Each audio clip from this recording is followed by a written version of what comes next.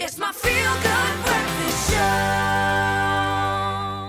Welcome back. By now, you must know that you're part of the family. Thank you so much for joining us. Awesome to catch up ahead of a weekend. Yeah, man. When I think mm. weekend, I think beautiful food to eat, like gourmet burgers and craft oh. burger, burgers, which still remain quite a strong trend and it's showing no, no signs of dissipating anytime soon, with new burger spots opening up regularly in every single city. Mm. But eating a burger doesn't have to be an unhealthy affair, you know? Why not try Moira's fish burger alternative mm. and create your very own trendy burger spot right in your own kitchen?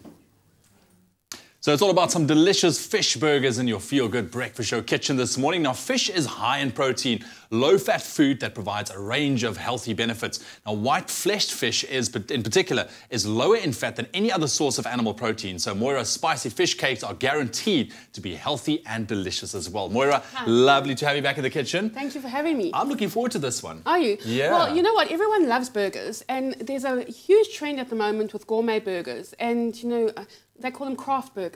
So why not take it into a fish burger? You, you know, debit and credit eating again. Yeah, there we go. And so you eat a, a low-fat burger, but you have the bun, Okay. and so you kind of balance it out. But also, fish is very tasty. Um, it's very understated, and yes, as you said, it's low-fat. You can use um, any firm fish. So we're using hake today. Some people even use pilchards to do this as a low Oh, really? economical type um, one. Yeah. But then you have to add in extra breadcrumbs because it's a bit soft. Okay, but I love the hake But yes, idea, let's yeah. get going. We're going to make the mixture first, right. and then we're going to serve it with a lovely Asian um, relish. Um, Ooh, with, nice. with cucumber and sweet chili and some corn all mixed into it with some rice vinegar and we'll, fin- we'll do that in a while. so does sound amazing. let's All get right. over to the side to the food processor. All right. All right, so in, in the food processor I've already got my hake.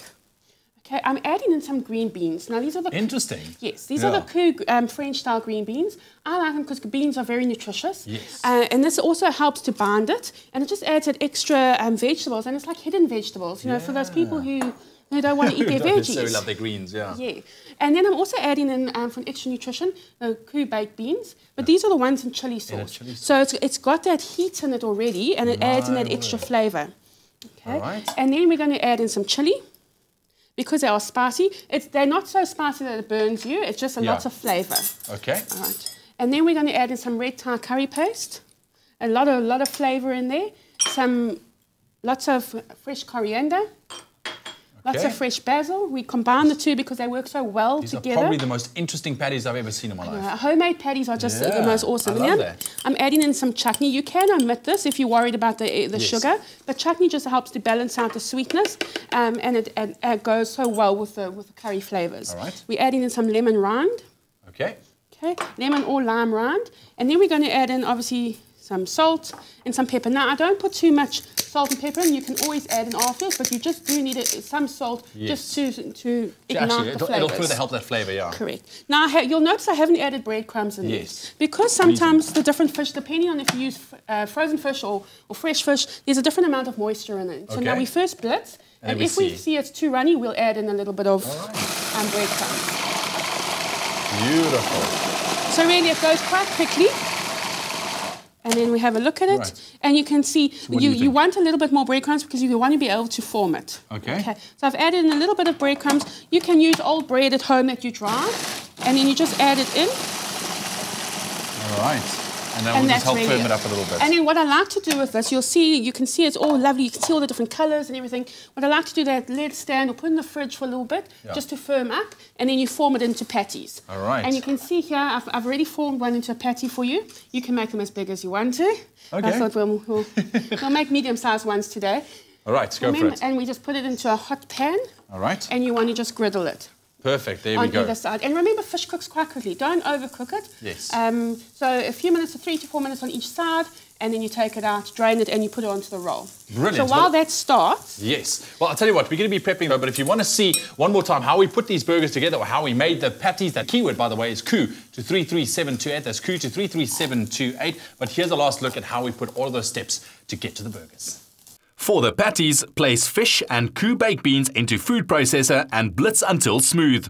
Add basil, KOO green beans, coriander, chili, curry paste, chutney, seasoning, and breadcrumbs and blitz until combined. Shape into patties and refrigerate for 20 minutes.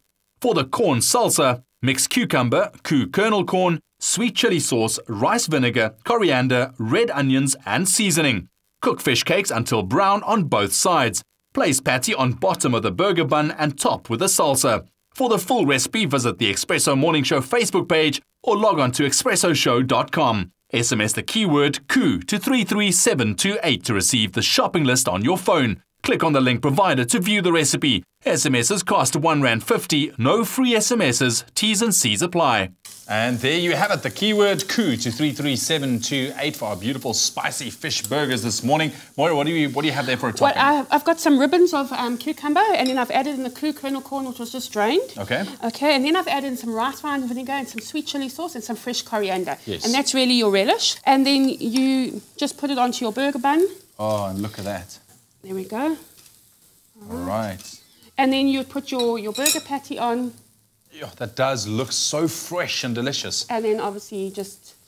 You can always put some extra on, but there's enough Yeah. flavour in there to actually give us enough moisture and enough flavour in, in the burger patty. Absolutely. No, it's really Wow. delicious, a lovely burger. You can add on any extra toppings, but I think there's enough flavour from this relish. And it's something nice and different to try for once, you know, as opposed to your, your, your usual burgers that you make at home. Love it. There we go. Some spicy fish burgers right here on your Feel Good Breakfast Show. That keyword, KOO, SMS that to 33728, and we'll send you everything you need to know to make these delicious and bur- uh, delicious burgers with a different spicy fish cake Now make sure that you send us your tasty fish recipes. We'd love to hear from you. Food at expressoshow.com. You never know, we could be making your recipe live on air with Moira. Only the best cooks serve Koo because they know it's carefully grown and made with meticulous attention. So when you serve Koo, you can trust you serving only the best.